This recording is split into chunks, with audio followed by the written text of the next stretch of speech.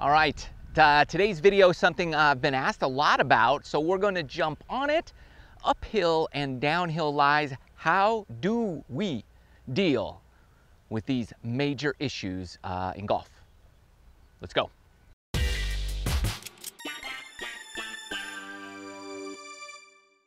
Okay, you've asked for this uh, a lot, and I can't believe I haven't done a video on this yet. Look at this, you can see the slope. My ball is just rolling backwards that way. It's pretty severe slope. So how do we deal with this? And um, as we go, we're gonna just talk about really the five keys of how to handle the uphills and we'll flip it around and I'll do downhills and you'll, uh, you'll be on your way to uh, great things. So, uh, by the way, be sure you hit that like button and uh, subscribe to the channel if you haven't done so already. Appreciate the support. And let's get right into it, okay? Step one here. Here's what we're gonna do. What I want you to do when you get this, we've gotta get our shoulders, you know, parallel to the ground. So here's normal. You know, you might set up like this. You've really gotta go this way.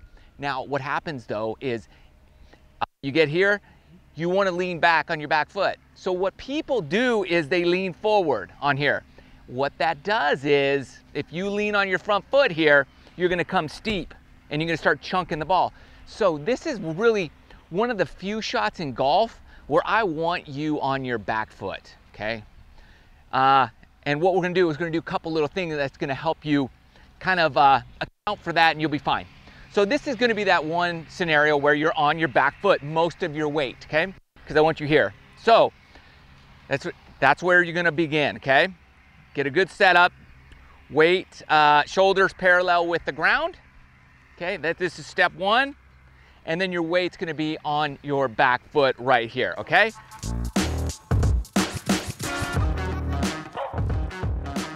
That's your initial setup. I want a little more narrow stance too, okay? This is your initial setup position.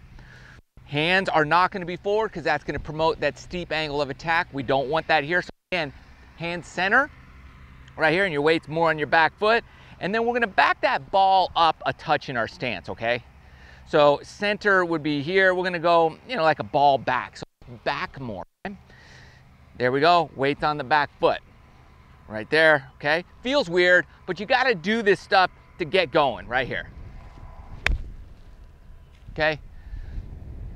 I think I just hit the flag stick. A little chunky on that one, but that's okay. We're working that out. I'm gonna show you the other steps that we need to do to account for that so you can really hit uh, confident shots as we go. Okay, so the next piece of this is gonna be this. We're gonna have to open that face up quite a bit. So you're here, I really want that face open. And then we're gonna choke down on the club a little bit, like two inches. So we're taking like a club or two extra so that, you know, this is how you account for that. And the reason we open that face is so we can use that sole and the bounce of the club a lot better through the turf. And that's gonna help us if we come a little too steep, that bounce of your club, you're adding to it and you're using that sole to help get you through the turf.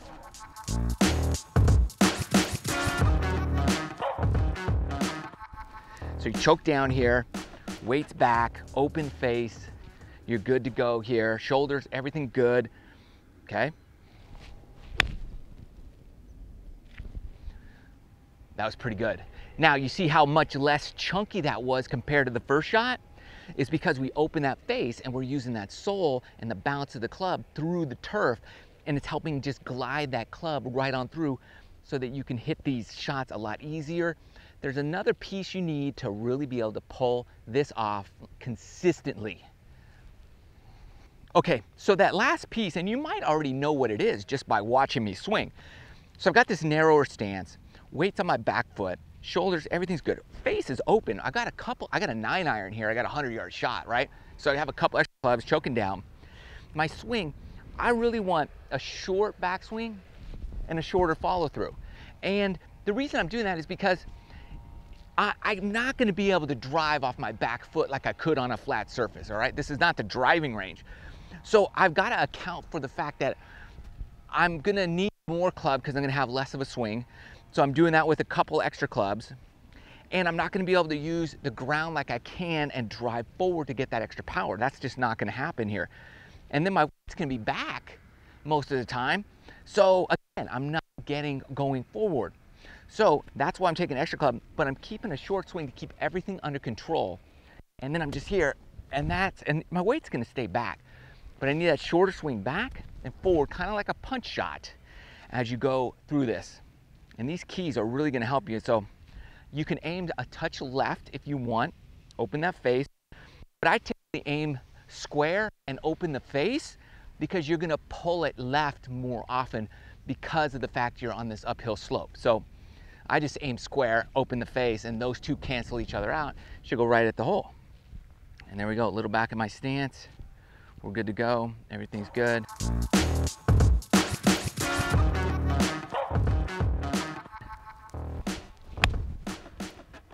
And there, you see my weight's back. That's a good shot right there. And you're just using the ground and the club to its maximum benefit here on these short shots.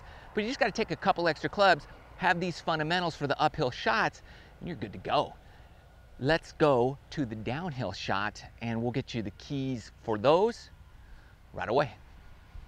Okay, here we go. We have a very similar shot as the uphill one we just had a minute ago, but this is our downhill version. and a lot of the principles are very similar, however, just in reverse, okay? So for starters, your setup has to be perfect. If your setup is not right, uh, you're gonna hit it fat or thin and just overall, it's not gonna be a good result. So um, you have to, first of all, get your shoulders to match the slope of the terrain. All right, so every uphill and downhill is gonna be slightly different, but as long as you can get your shoulder angle to match, you're good. And then your here your weight's gonna be on your front foot most of the time. So just have that in mind. Now, I do not at this point put the ball back in my stance, all right? Because now I'm I'm already with my setup, I'm promoting a steep angle of attack. So if I put it back, now I'm steep and hitting early, that's a very difficult combination. So I'm gonna move it forward here. And I'm gonna put it more a ball forward in my stance, all right? So again, feet narrow, weights forward, shoulders sloping down, all right?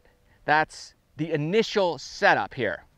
And what you're gonna do here also is open up the club face, okay? So let's say I have 95 yards to this hole, and that's normally, let's say my 54 degree wedge. Now, because of how I set up, it turns 54, let's say into 50.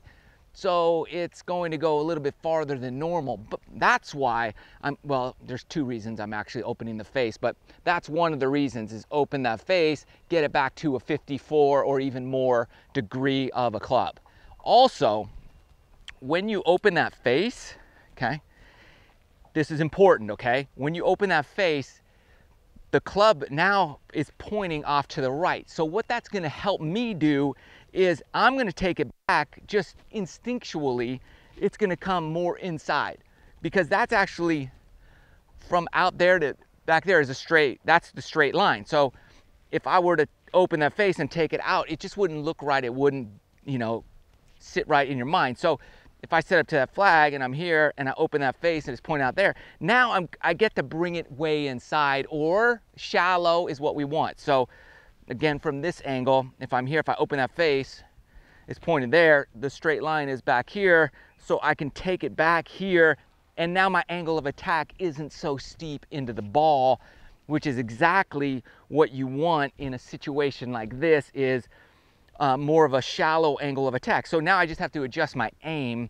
because here I want that club face to point to my target.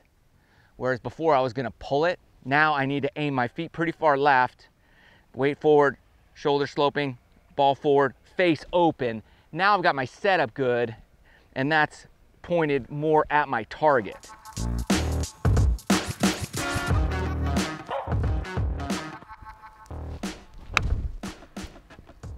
And uh, that's actually pretty good. I thinned it a touch, but that's better than hitting it fat because I had a nice shallow angle of attack. So if you find you're taking a big divot, then you know one thing, your setup is just not correct and that's what you have to fix is your setup. So either you are not leaning forward on your front foot, the ball's in the wrong spot, or you haven't opened up that face correctly. So I'm opening that face up here. You know, some people will take extra club or less club because they're de-lofting the club based on the slope. But if you open the face up, you counter off that, uh, that, you know, that angle and then you're back to your normal club. So that's why I like opening that face. Plus it helps me take it a much more shallow because you're gonna bring it back in here versus if I were to square it, I would wanna come straight back and then you could do that. And I don't wanna do that on this situation. So weight forward, open that face. Now I get to bring it in here and then just try to keep aiming a little left till we're, we're kind of all synced up. Also that ball, the longer the shot, the longer the club, the more that ball is gonna move from left to right. So you can start aiming a little bit more left each uh, club you get, right? So let's say I'm hitting a four iron, I would start aiming a little left of the green and then that would go and start cutting back. But again, all the fundamentals would be the same, still opening that face up here. Weight forward, that feels about right there. And there you go. I mean, that's okay, but so it faded quite a bit on me. So I got to adjust for that. And then it came up, it was about the right distance, but as it faded, it hit the bunker, okay? So that's not what um, we want. We gotta figure out how to really get our body to aim left. We're good to go. You could take a little divot, it's fine. And with uphill, we're taking a short swing.